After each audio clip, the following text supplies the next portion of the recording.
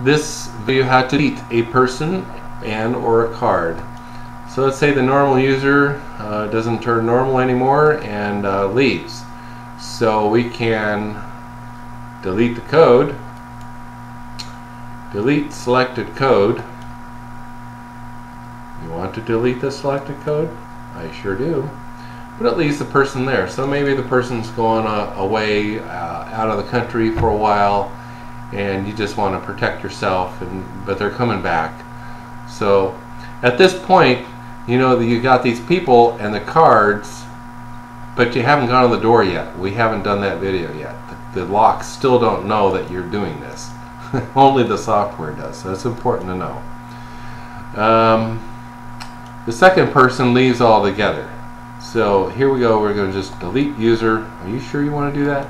Boom. Takes them all out. And there you go. They're gone. The third person gives the card back.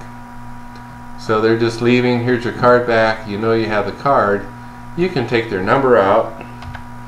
and now you can just name this new user. Put the card in your desk. And when somebody comes along, you can simply go in there and retype that to the new person. And you don't have to go back to the door because it's already in the door. See what I mean? So it saves you a little time.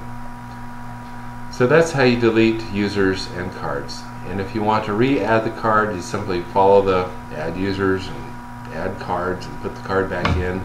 Click on the locks you want to go in and uh, go to the door, program it.